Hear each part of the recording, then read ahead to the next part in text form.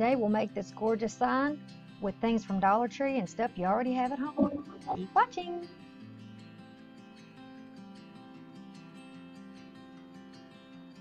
I want to start off with one of these uh, decorative posters that I got from Dirt Cheap that actually originally came from uh, Target and then two of these Valentine signs that came from Dollar Tree. I've just taken the little metal hearts off of that for another project.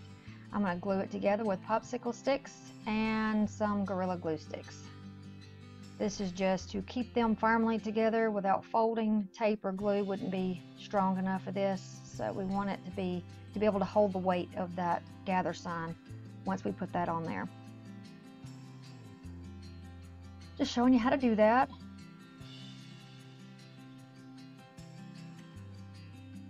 There are bigger popsicle sticks you can use if you need to. All right, so we were just flipping it over and I'm gonna take out this poster. It's a lot bigger than I thought it would be.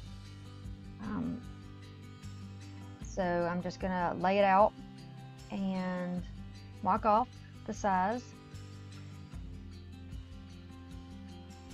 And then I'm gonna cut out that piece of paper and put the rest of it aside for another project.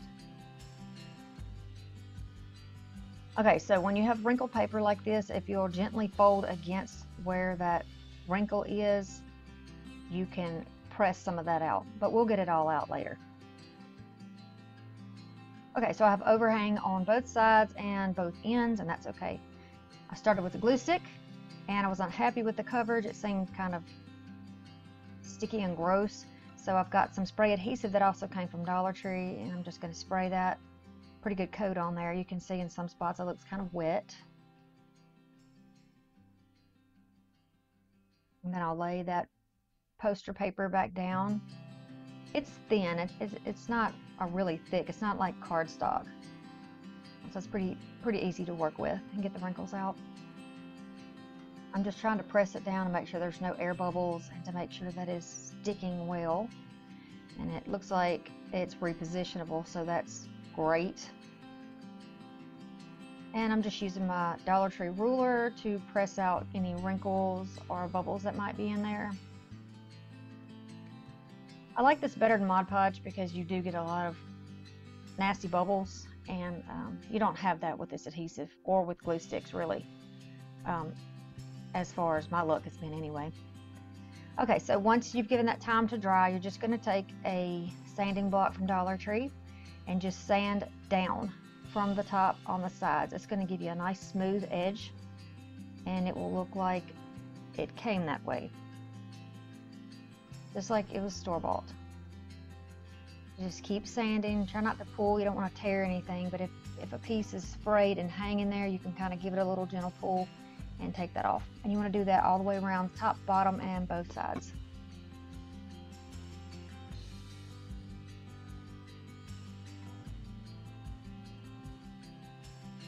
I learned this trick from other YouTubers that I watch that do craft videos.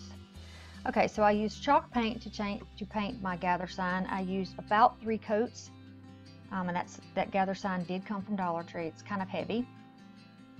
So I wanted to get an idea of where I wanted to place it, and also I knew that I wanted some type of a frame, so I'm using these tumbling tower game blocks that you can get at Dollar Tree. It's just in the kids' toy section and trying to get an idea of spacing and the layout here. It's easier to, to give it a dry run than it is to glue it down and then decide you don't like it or it doesn't fit correctly because these blocks are not always the same measurement. They're not always the same size. So you just need to be be careful about that, be mindful about that.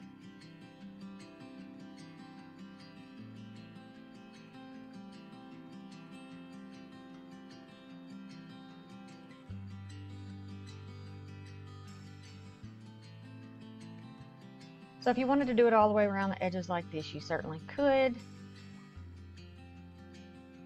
But you can you can change it and do it any way you want. And I decided I just wanted it on the top and bottom, kind of like um, the other wall hangings that you see that look more like a like a scroll or something.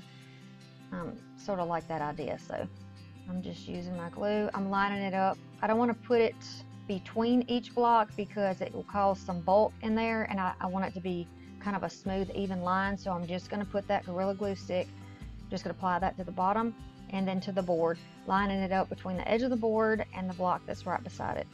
That'll give you a nice straight edge. But if you really want it to be super straight you can put a ruler down there. You can put a, a long piece of wood under it or whatever um, a level straight edge whatever you want to do. But this is farmhouse, so it's not intended to be perfect anyway. As you will see, when I put my last block down, there's a little bit of extra edge there that it didn't cover. So I'll use the same amount on the top and bottom. That still happens. So I'm going to use some of this Gorilla Glue and go around on this sign, which um, as I said before, it's, it's a little heavy and bulky, so you want to be sure that you get a good application of glue on this, but not enough to squish out when you press it down. Try to stay in the center of your letters.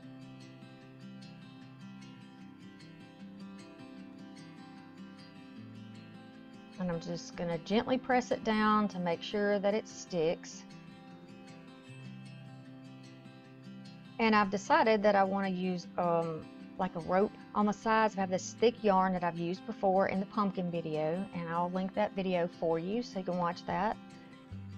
And I'm just tying a knot on each end, whatever length you want, however far down you want it to hang.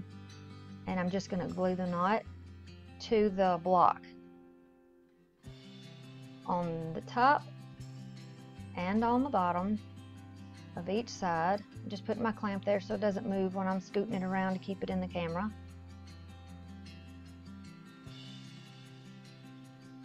So there we go there. And then I'm to go right along the edge with a bead of glue to put that rope down. It's kind of at an angle, kind of on the edge, kind of on the side. And I do like the way that looks. All right, then I'm going to take a hula skirt that I'm using as raffia and I'm going to tie a simple little bow.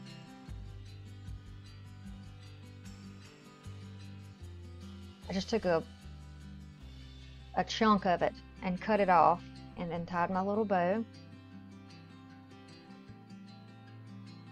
Yeah, I'm weird about bows. I like for things to be symmetrical, so I'm playing around there to make sure that my my rabbit ears are the same size. And I decided that I want to place those on the sides. Maybe make it look like it's supporting the rope on the sides or the yarn on the sides. I'm going to do the same thing for the other side.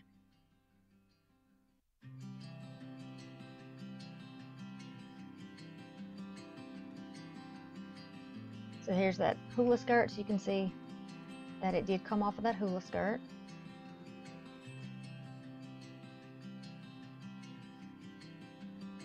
Here you can see how I'm tying it. And that is it. Once you get that put together, compare it to the other bow, trim it up, glue it down, and it is complete. And I love it. My pretty little gather sign for Thanksgiving and fall. And I hope that you will try it yourself. I hope you'll subscribe. We got lots more things coming. And I appreciate you viewing. Please like it if there's something that you liked in this video. And I'll see you again soon. Bye.